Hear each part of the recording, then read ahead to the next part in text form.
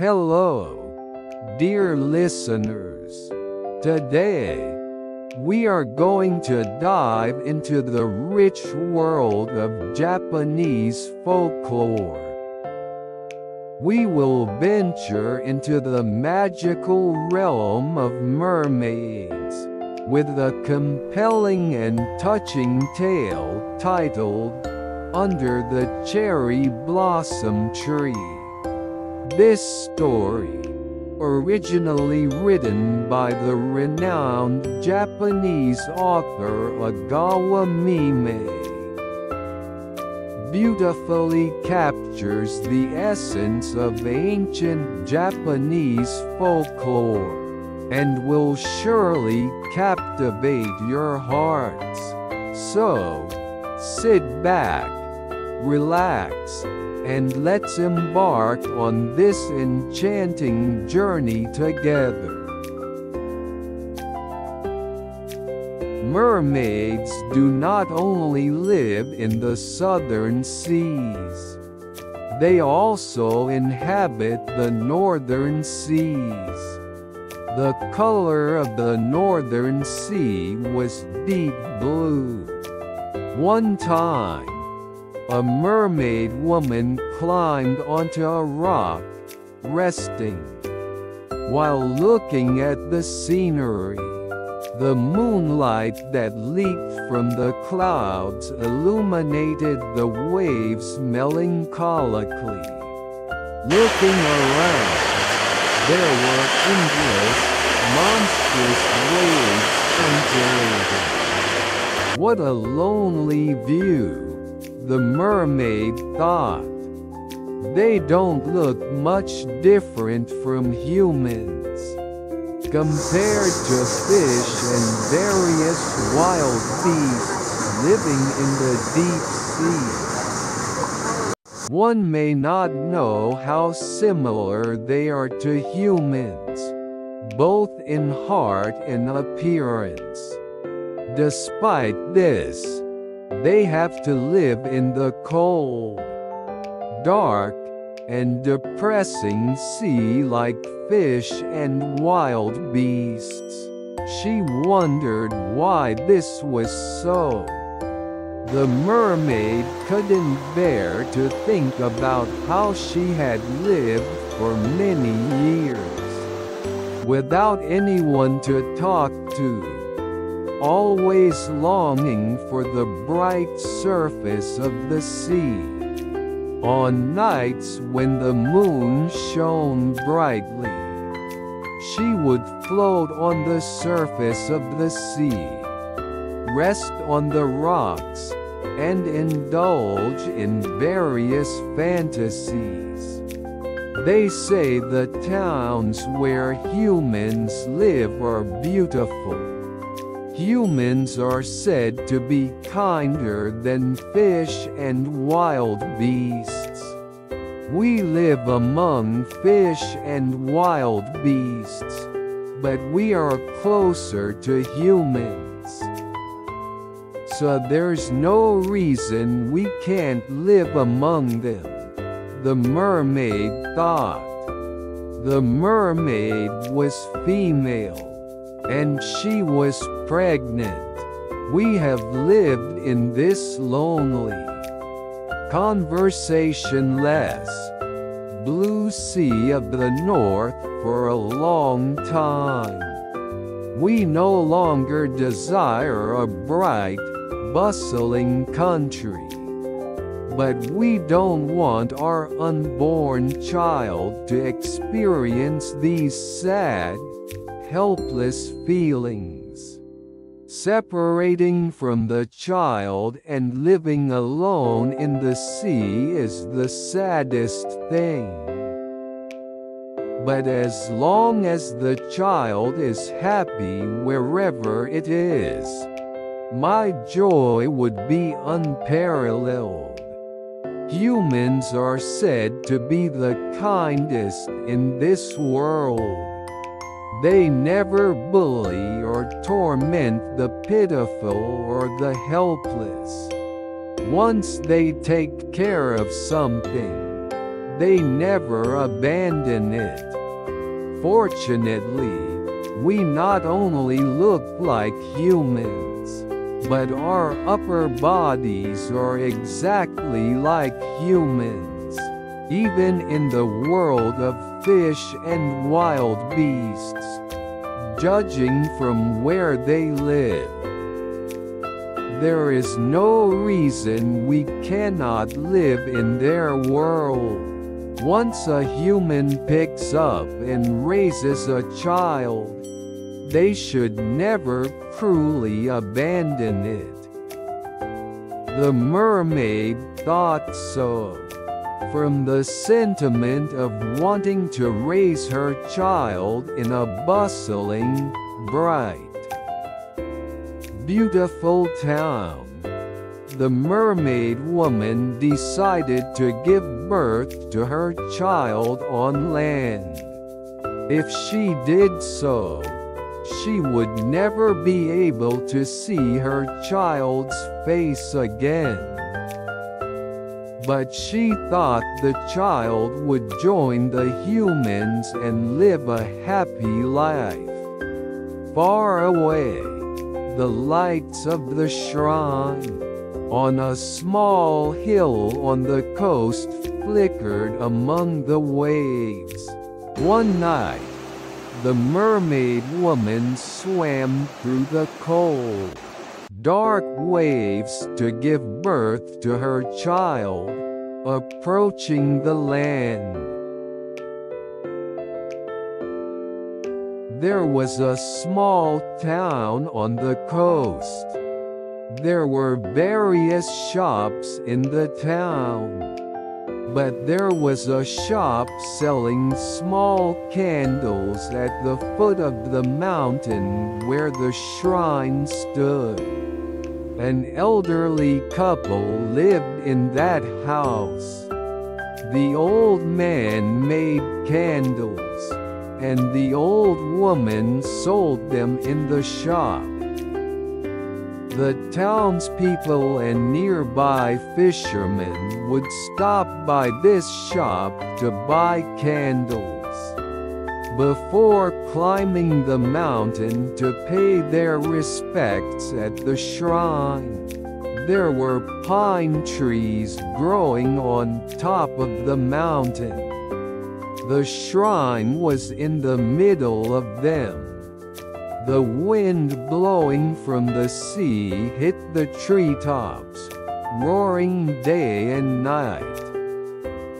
Every night, the flickering of the candlelight in the shrine could be seen from the distant sea. One night, the old woman said to the old man, Our living like this is all thanks to God. If there wasn't a shrine on this mountain, we couldn't sell candles. We must be grateful. With that thought, I will climb the mountain to pay my respects. You're right, the old man replied. I thank God every day, but I'm so busy that I don't often go to the mountain to pay my respects. You've made a good point. Please express my gratitude as well. The old woman set off. It was a clear moonlit night, and it was as bright as day outside. After paying her respects at the shrine, as the old woman descended the mountain, she found a baby crying at the bottom of the stone steps. What a pitiful abandoned child. I wonder who left it here. It's strange that I noticed it on my way back from praying. If I leave it here, I'll be punished by God. I'm sure God knows we're childless and has given us this child. I'll take it home and discuss raising it with my husband. The old woman said in her heart, picking up the baby. Oh, you poor thing. You poor thing. She said, carrying the baby home. The old man was waiting for the old woman to return. When she came back holding a baby, the old woman told the old man everything, and he agreed, saying, Indeed, this is a child given to us by God. If we don't raise it carefully, we'll be punished. The two decided to raise the baby. The child was a girl, and from the waist down, she was not in human form, but had the shape of a fish. The old man and woman thought she must be a mermaid, as they had heard in stories. This is not a human child. The old man said, looking at the baby. I think so too. But she's such a gentle, lovely girl regardless of whether she's a human child or not, the old woman said. Indeed, whether she's human or not doesn't matter. This is a child given to us by God. So let's take good care of it and raise it.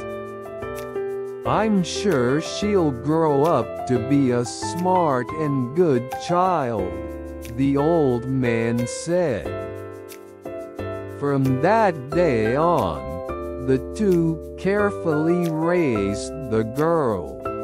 As the child grew, she became a beautiful, shiny-haired, quiet, and smart child with big black eyes. The daughter grew up, but she was ashamed to show her face. Because her appearance was different. However, everyone who saw her once was surprised by her beautiful features. And there were even those who wanted to see her and came to buy candles. The old man and woman said, Our daughter is shy and doesn't like to appear in front of others. In the back room, the old man was diligently making candles. The daughter thought that if she drew a picture, everyone would be pleased and buy the candles. So she told the old man about it, and he said she should try drawing a picture she liked. The daughter drew fish, shells, and sea plants on the white candles with red paint. It was natural and well drawn without learning from anyone. The old man was surprised when he saw it. Everyone who saw the picture wanted to buy the candles. The picture had a mysterious power and beauty. No wonder it's good. It's drawn by a mermaid, not a human, the old man explained, discussing it with the old woman. People came and said, Give us the candles with the pictures, and from morning till night. Children and adults came to buy them at the shop. Then, the candles with the pictures were popular with everyone. Then a strange story began. It was rumored that if you went out to sea, with the remnants of a candle with a picture, which had been offered to the shrine on the mountain, you would never have a disaster such as capsizing or drowning, no matter how big the storm. It's a shrine dedicated to the sea god, so if we offer beautiful candles, the god must be pleased, the townspeople said in the candle shop because the candles with pictures sold well. The old man was making candles from morning till night, and the daughter was drawing pictures with red paint, enduring the pain in her hand. I must not forget the kindness of those who have raised me, who is not even a human being. The daughter felt in her gentle heart and teared up with her big black eyes. This story spread to distant villages. Sailors and fishermen from afar wanted to get the leftovers of the candles with pictures offered to the god. So they came all the way from far away. They bought candles, climbed the mountain, visited the shrine, offered and lit the candles, waited for them to burn down, then took them and went home. Therefore, the fire of the candles in the shrine on the mountain never extinguished, day or night. especially at night, the beautiful light of the lamps could be seen from the sea. Truly, the god is grateful, was the reputation in the world. The mountain quickly became famous. The reputation of the god rose like this. But no one thought about the daughter who was wholeheartedly drawing pictures on the candles. So there was no one who felt sorry for the daughter. The daughter was locked in her room, drawing pictures on the candles with all her heart. However, even when the elderly couple saw it, they neither found it adorable nor pitiful. Sometimes, on a moonlit night, the daughter would stick her head out of the window, miss the far-off, blue, blue sea of the north, and tearfully gaze at it.